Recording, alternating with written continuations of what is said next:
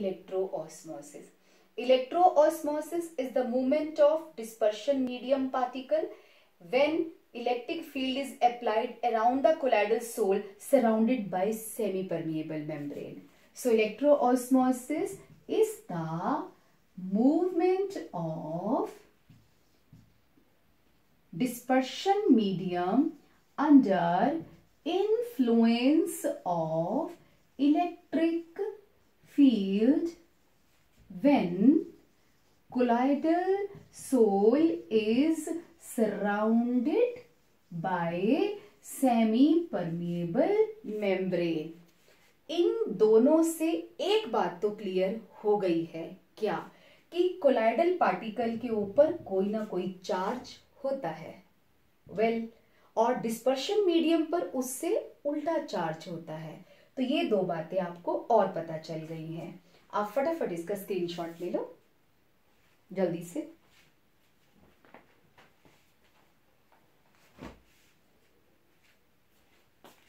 Well six हो गई। अगली नेचुरली हम क्या करने वाले हैं? Charge right charge and colour जो भी पॉइंट समझ में नहीं आया, आप इसको रिवाइंड करके बार बार देख सकते हैं। वैसे भी आपको लेक्चर को समझने के लिए दो बार तो देखना पड़ेगा। पहली बार समझ में आता है, अगली बार आप अपने पॉइंट्स बनाएँगे right six points we have done seven है charge on colloidal sol well ये चार्ज कहाँ से आता है? कोलाइडल सोल के ऊपर चार्ज कहाँ से आता है? By preferential adsorption of ions. Meaning क्या है इसका?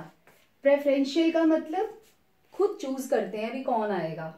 एडजॉर्प्शन का मतलब होता है सरफेस पे बस आके उनको सरफेस पे बिठाना, अंदर मत घुसने देना।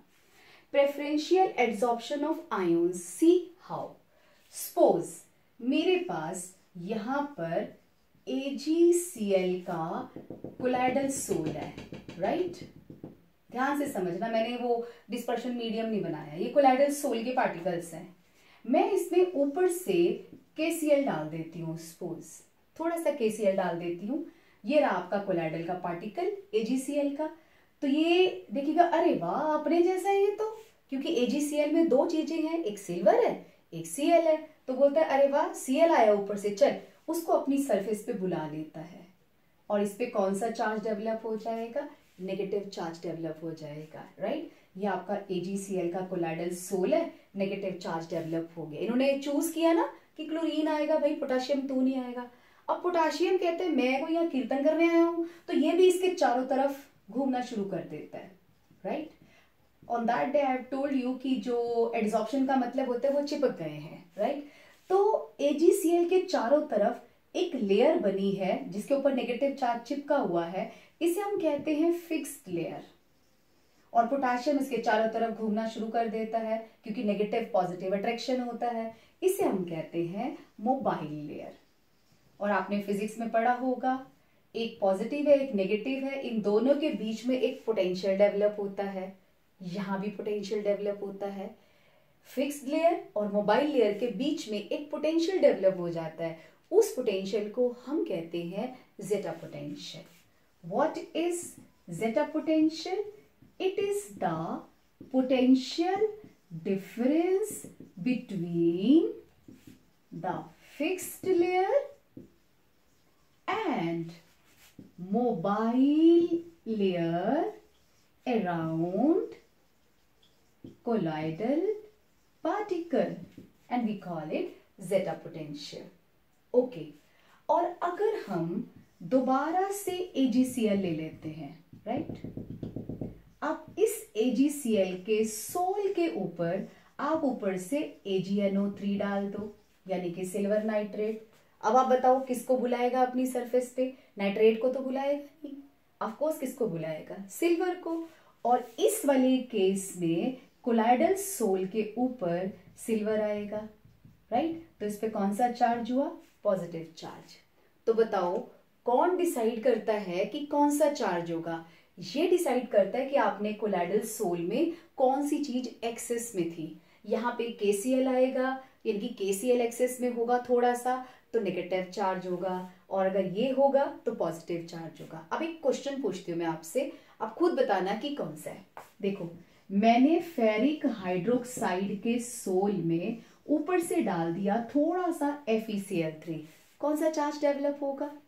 पॉजिटिव क्योंकि ये आयरन को अपनी सरफेस पे बुलाएगा। ओके और अगर मैं एफ़ होल थ्राइस के सोल पे एन डाल दूँ ऊपर से तो? अब सोडियम को तो बुलाएगा नहीं अपनी सरफेस पे। किसको बुलाएगा? ओ एच नेगेटिव को। तो इस पर कौन सा चार्ज डेवलप होगा? नेगेटिव ऐसे ऐसे क्वेश्चन एग्ज़ाम में आते हैं तो you have to be very careful कि हमने आंसर क्या लिखना है, ध्यान से देखना है। अब एक और छोटी सी बात बताऊँ। मान लो मैं कोई ऐसी चीज़ डालती हूँ, उसमें ना तो आयरन हो और ना ही ओ OH हो तो क्या होगा? चलो डाल देते हैं। अब इसमें मैंने ऊपर से डाल दिया NaCl इसी में। बताओ क्या होगा? ये तो सिर पीट लेगा। बोलेगा, ले ना तो आयरन है, ना ओ OH है, हमारी बिरादरी का तो कोई है ही नहीं। तो ये क्या करेंगे? ये इसको न्यूट्रल कर देगा और ये सेटल डाउन हो जाएँगे, यानी कि कोएगुलेशन हो जाएगी। तो क्वेश्चन को ध्यान से पढ़ना है। तीन तरह के क्वेश्चन आते हैं। चार्ज होगा दो, चार्ज वाले होते हैं, एक वो जिसमें कोएगुलेशन हो जाती है। So charge on colloidal sol कहाँ से आया? प्रेफरेंशियल एड्जॉर्प्शन ऑफ़ आयोन से आता है।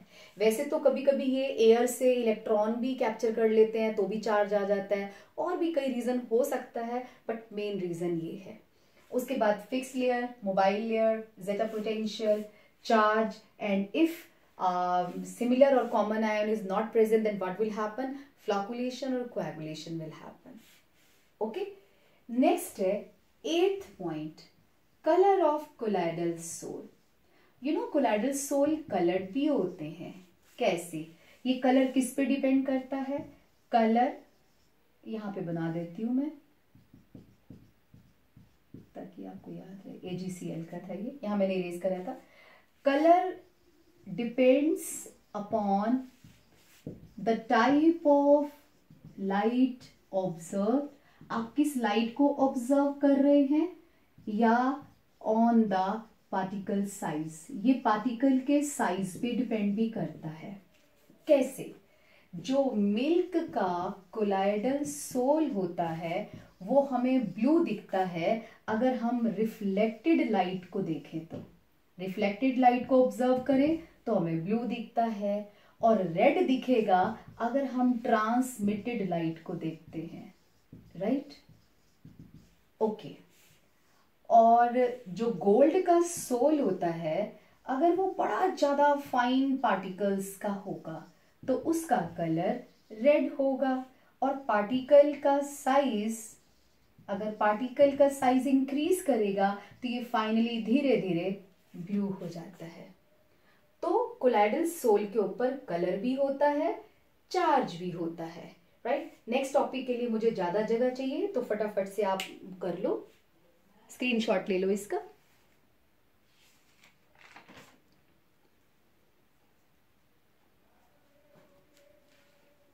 नेक्स्ट प्रॉपर्टी है कोएगुलेशन और फ्लॉकुलेशन और प्रेसिपिटेशन तीनों का मीनिंग एक ही है in this case that was eighth ninth coagulation और फ्लॉकुलेशन और precipitation what is the meaning of these three? Same meaning है कोएगुलेशन का मतलब क्या होता है? Coming together of colloidal particles and settle down क्यों? क्योंकि पार्टिकल का साइज़ थाउज़ेंड नैनोमीटर से जैसे ही ज़्यादा होगा they will settle down just like suspension right coagulation it is coming together of colloidal particles and settle down.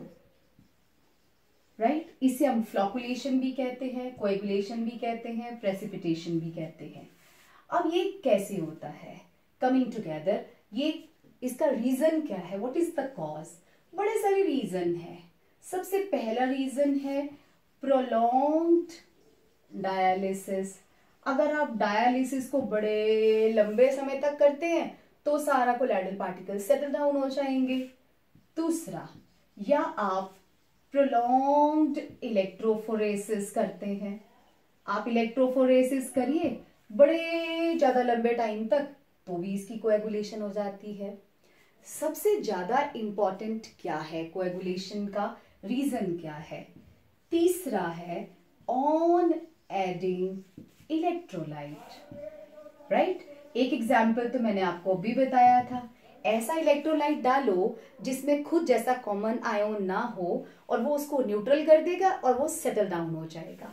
On adding electrolyte which will neutralise ये क्या करेगा?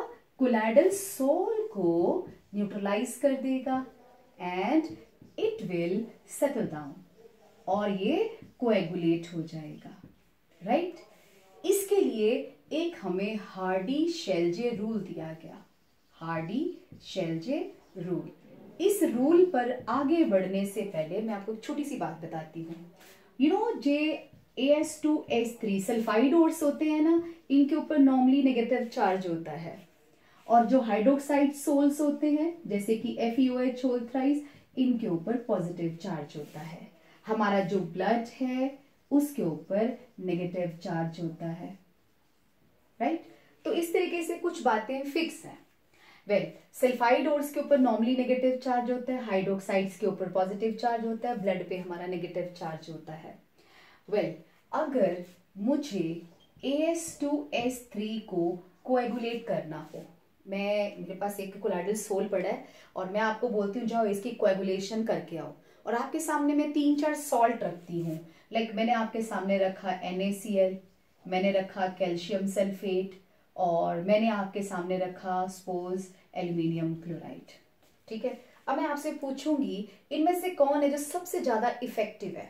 यानी कि थोड़ा सा अमाउंट डालेंगे और आपकी कोएगुलेशन हो जाएगी राइट इसमें आपने ये देखना है, इसके ऊपर चार्ज कौन सा है? नेगेटिव नॉर्मली नेगेटिव होता है ifs and buts are there तो आप सोचेंगे अच्छा इनमें से आप नेगेटिव को नहीं देखेंगे। क्यों? क्योंकि इसकी न्यूट्रलाइजेशन तो पॉजिटिव वाला हिस्सा करेगा ना तो आप उसका चार्ज देखेंगे। इस पे टू प्लस है, इस पे थ्री प्लस है। आप कहेंगे, ये करेगा, इसकी कोएगुलेशन सबसे ज़्यादा जल्दी। ऐसा किसने बताया था? हार्डी शेल्जे ने बताया था। हार्डी शेल्जे ने बोला था, किसी भी कोलाइडल सोल को अगर आपको कोएगुलेट करना होगा तो जो इलेक्ट्रोलाइट का जो आयोन इससे ऑपोजिट चार्ज वाला होगा, वो इसकी कोएगुलेशन करेगा। क्या मीनिंग है इसका? Hardy Schulze rule says to coagulate any colloidal sol the oppositely charge ion of electrolyte is responsible for its coagulation. यानी कि इलेक्ट्रोलाइट का जो ऑपोजिट चार्ज वाला होगा कोलाइडल सोल से, वो इसकी कोएगुलेशन करेगा। और उसने क्या बताया? And higher the charge present on ion higher is its coagulation power उतनी ज़्यादा उसकी कोएगुलेशन पावर होगी राइट right? और कोएगुलेशन पावर और कोएगुलेशन वैल्यू कोएगुलेशन वैल्यू जो है that is inversely proportional to coagulation power जिसकी पावर ज़्यादा होगी, वो कम इस्तेमाल होगा। यानी कि उसका कम अमाउंट चाहिए होगा कोएगुलेशन के लिए। उसी को हम बोलते हैं कोएगुलेशन वैल्यू और कोएगुलेशन वैल्यू की डेफिनेशन क्या है? It is the amount of electrolyte in millimoles required to coagulate one litre of colloidal solution एक लीटर कोलाइडल सॉल्यूशन को कोएगुलेट करने के लिए जितना इलेक्ट्रोलाइट चाहिए मिलीमोल्स में, उसको हम कहते हैं कोएगुलेशन वैल्यू लेकिन स्कूल्स में या सीबीएसई e में ये क्वेश्चन तो आता ही नहीं है. क्वेश्चन ये आता है what is the modification in Hardy Schulze rule Hardy Schulze rule में कुछ गायब है. वो क्या है? जरा उसको मॉडिफाई करो. So what is the modification of Hardy Schulze rule इसकी मॉडिफिकेशन ये है पहली बात when two oppositely charged colloidal sols are mixed जब दो ऑपोजिट चार्ज वाले कोलाइडल सोल को मिक्स किया जाता है then mutual coagulation takes place यानी कि दोनों की कोएगुलेशन होती है टेक्स प्लेस और दूसरी बार उसको अमाउंट भी मेंशन करना चाहिए था राइट right? उसने इसका अमाउंट मेंशन नहीं किया। The amount of the electrolyte should also भी मेंशन हियर सो ये हार्डी शेलजे की मॉडिफिकेशन है। This is damn important question this is very important question you take its screenshot हरिया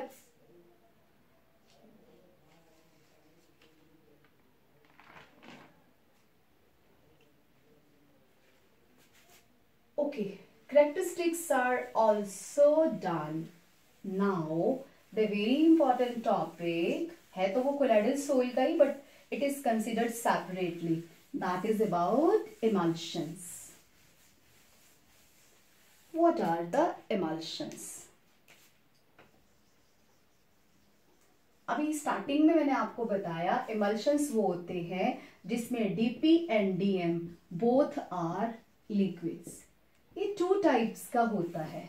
Water in oil type and oil in water type right water in oil का मतलब है water कम है oil ज़्यादा है। इसका एग्ज़ाम्पल है कॉड लिवर ऑयल राइट और ऑयल इन वाटर ऑयल कम है वाटर ज़्यादा है। इसका एग्ज़ाम्पल है मिल्क आप पता कैसे लगाएँगे कि वाटर इन ऑयल टाइप है या ऑयल इन वाटर टाइप है? बड़ा सिंपल है। आप इसमें ऑयल सॉल्यूबल डाई डाल दीजिए दोनों में, ठीक है? इसमें ऑयल ज़्यादा है तो पूरा का पूरा डाइड हो जाएगा। सॉल्यूशन हमारा नॉट सॉल्यूशन सोल हमारा सोल डाइड हो जाएगा। इस वाले में अगर आप डाई डालेंगे, कौन सी डाई डाली है हमने? ऑयल सोल्यूबल तो इसमें आपको पैचेस दिखेंगे, यानी कि डाइड पैचेस या ड्रॉप्स दिखेंगी डाइड ड्रॉपलेट्स दिखेंगी आपको कहीं कहीं पे ड्रॉपलेट्स दिखेंगे। तो इससे हमें पता चल जाता है कि वाटर इन ऑयल टाइप है या ऑयल इन वाटर टाइप है। वॉट इज़ इमल्सिफिकेशन इमल्सिफिकेशन एक फिनोमिनन है। It is the formation of emulsion by using by using emulsifying agent यही इमल्सिफिकेशन जो मैंने आर्टिफिशियल मिल्क बनाने का तरीका बताया, वो यही था कि हम इमल्शन कैसे बना सकते हैं।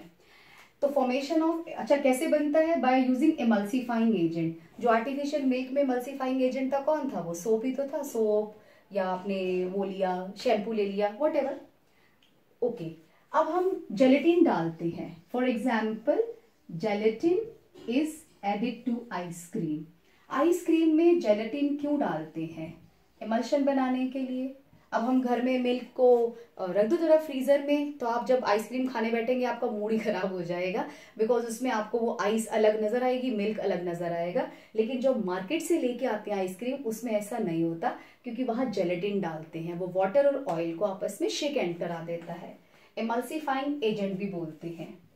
नेक्स्ट है डीमल्सिफिकेशन डीमल्सिफिकेशन का मतलब? ऑयल को और वाटर को अलग कर देना एमल्शन में से, उसे हम कहते हैं डीमल्सिफिकेशन ऐसा कैसे होता है? अगर मैं आपसे कहूँ मिल्क से सारा फैट निकाल दो मतलब अलग कर दो तो आप कैसे करेंगे? दूध को गैस पे रखेंगे, भूल जाएँगे, उसमें से सारा वाटर निकल जाएगा और आपको पीछे सारा ऑयल मिल जाएगा, यानी कि घी मिल जाएगा। तो डीमल्सिफिकेशन क्या होता है? Separation of DP and DM ये कैसे होता है? पहला मेथड बाय बॉइलिंग दूसरा है आप रेफ्रिजरेटर में रख दीजिए मिल्क तो भी अलग हो जाएगा. बाय रेफ्रिजरेशन और कूलिंग भी कह सकते हैं. तीसरा आप उसको मिक्सी में चला दीजिए तो फैट अंदर की तरफ़ चला जाएगा बाकी लिक्विड पोर्शन बाहर आ जाएगा. वॉटरी सो so, तीसरा है सेंट्री फ्यूगेशन इमल्शन के फ़ायदे तो हमारी लाइफ में बहुत सारे हैं। इसका ड्रॉबैक एक है। एक लिमिटेशन है आपके कोलाइडल सोल की। क्या? कभी कभी पेट्रोलियम इमल्शन की फॉर्म में निकल आता है ड्रिलिंग के बाद। अब वो तो भाई हमारे किसी काम का नहीं है, क्योंकि it's very difficult to separate water from petroleum और ऑयल तो sometimes petroleum is obtained petroleum is obtained in the form of emulsion, and that is totally waste for us. हमारे लिए बिल्कुल वेस्ट होता है।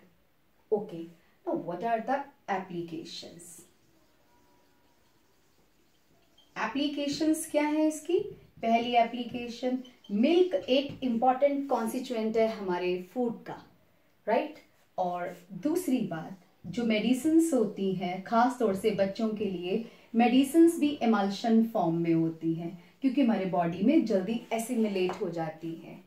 तीसरा, हमारी इंटेस्टाइन में जो डाइजेशन ऑफ़ फैट होता है digestion of fat in our intestine वो भी किसी की वजह से ही होता है। Digestion of fat in our intestine is because of emulsion क्योंकि वहाँ पर भी बाइल जूसेस निकलते हैं। पहले फैट को वाटर में सोल्यूबल बनाते हैं, फिर एंजाइम अपना एक्शन करते हैं।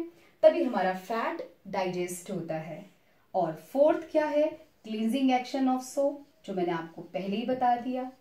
Cleansing action of soap is also because of emulsion right और तो और रोड बनाने में इन रोड मेकिंग जो एसफाल्ट यूज़ करते हैं एसफाल्ट वो भी एमल्शन की फॉर्म में ही पहले डिजोल्व किया जाता है फिर रोड बनाने के काम आता है।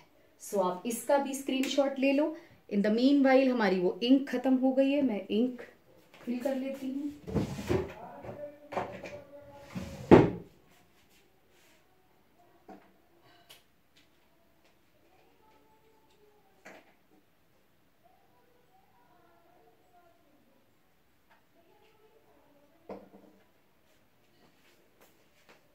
Now the applications of colloidal sols.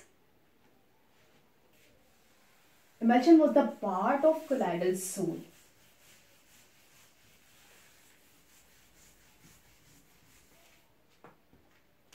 Applications of colloidal sols. The very first thing, when river meets sea delta is formed. Why? देखो, ये रिवर है, ये सी है। अब रिवर का वाटर जहाँ सी से मिलता है, वहाँ डेल्टा बन जाता है। ये डेल्टा क्या है? मिट्टी मड डिपॉजिट हो जाती है। कैसे? रिवर जो है, ये कोलाइडल सोल है मड का इन वाटर और सी में क्या पड़े होते हैं? इलेक्ट्रोलाइट्स पड़े होते हैं।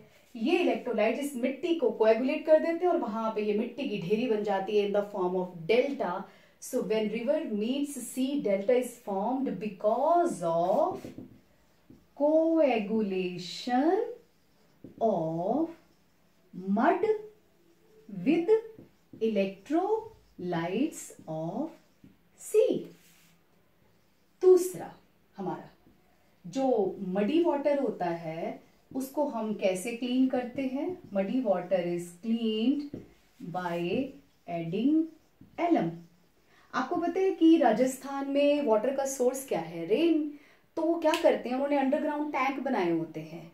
तो रेनी वाटर सारा उसमें स्टोर होता है। फिर वो पूरा ईयर क्या करते हैं? निकालते रहते हैं उसमें से। कभी कभी मिट्टी ऐसी होती है कि नीचे बैठने का नाम नहीं लेती।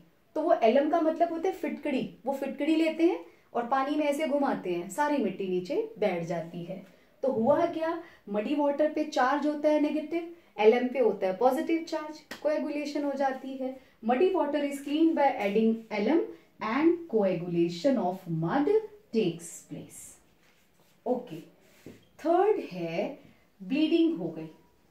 लो, यहाँ पे एक कट लग गया राइट वहाँ से ब्लड निकल रहा है। आप थोड़ी सी फिटकरी लो एलम लो, उसको यहाँ रखो तो ब्लीडिंग स्टॉप हो जाती है। ब्लीडिंग क्यों स्टॉप होती है? क्योंकि ब्लड के ऊपर होता है नेगेटिव चार्ज और आपकी फिटकड़ी यानी कि एलम पे होता है पॉजिटिव चार्ज वो इसके कांटेक्ट में आते ही कोएगुलेशन कर देते हैं और वहाँ से ब्लीडिंग स्टॉप हो जाती है। So bleeding is stop by applying alum और FeCl3 because of coagulation of negatively charged blood with positive charge of alum और ऐसा सब्सटेंस जो ब्लीडिंग को स्टॉप करता है, उसे हम कहते हैं स्टिप्टिक ऐसे सब्सटेंस को हम कहते हैं स्टिप्टिक फोर्थ है हमारा कॉट्रेल प्रेसिपिटेटर ये जो फैक्ट्रीज होती हैं जहाँ से धुआँ निकलता है तो वहाँ पे कॉट्रेल प्रेसिपिटेटर होता है। ये एक रॉड होती है, जिसके ऊपर एक ऐसा चार्ज होता है।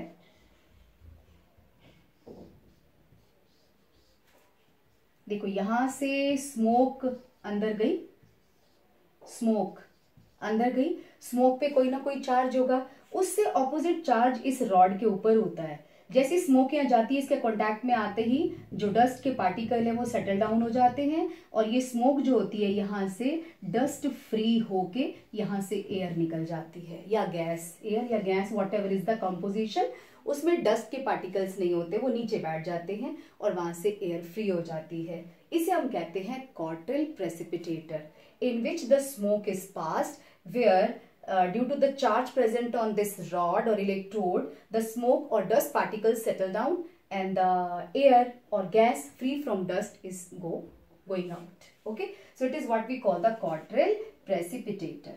अब उसके बाद है इसका यूज़ मेडिसिन में भी होता है इन मेडिसिन मेडिसिन में व्हाट हैपन एक आर्गी रोल होता है यानी कि कोलॉइडल सोल ऑफ़ सिल्वर ये आई लोशन का काम करता है राइट ऐसे ही आ, एक कोलाइडल सोल ऑफ़ एंटीमनी होता है वो काला अजार को क्योर करने के काम आता है।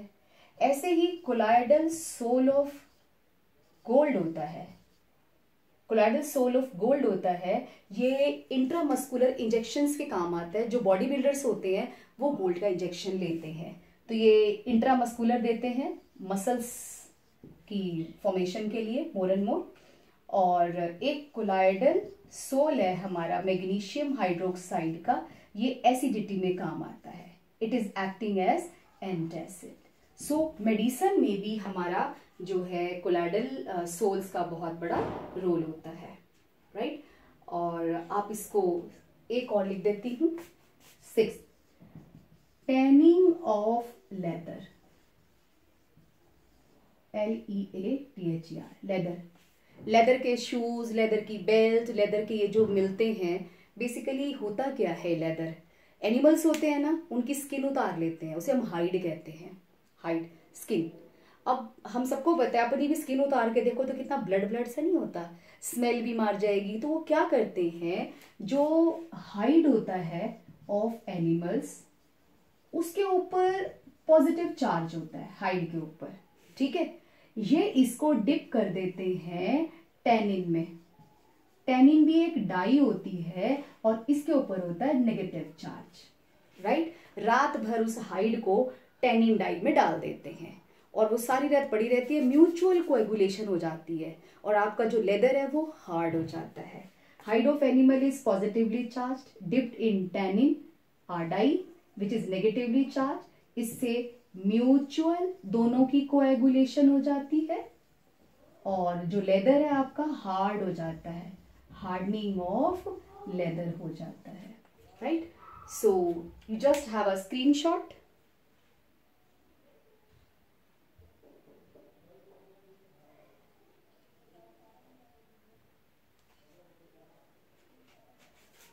six हो गए। नेक्स्ट है सेवन आर्टिफिशियल रेन पहले तो ये पता होना चाहिए कि रेन होती कैसे है। सेवेंथ पॉइंट है रेन और प्रेसिपिटेशन ऑफ़ क्लाउड्स भी कहते हैं। Takes place when two oppositely charged clouds meet. जब दो ऑपोजिट चार्ज वाले क्लाउड्स आपस में मीट करते हैं तो रेन होती है। आपने देखा होगा, ये वर्ड भी हमने प्रेसिपिटेशन लिया हुआ it is what we call it coagulation of the clouds okay तो एट्थ क्या है? Artificial rain artificial rain Beijing में कराई गई थी कई साल पहले। उन्होंने क्या किया था? क्लाउड्स आते थे, चले जाते थे। वो रेन कॉज नहीं करते थे। तो एरोप्लेन से ना इलेक्ट्रीफाइड सैंड डाल दो।